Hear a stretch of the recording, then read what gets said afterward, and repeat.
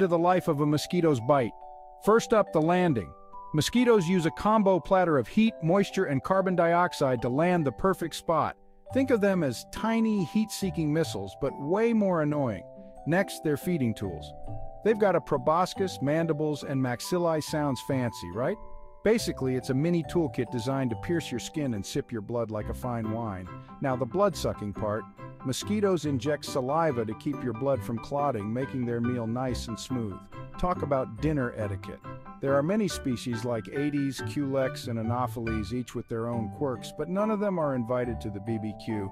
Trust me, to stay bite-free, use repellents, wear protective clothing, and keep those windows screened.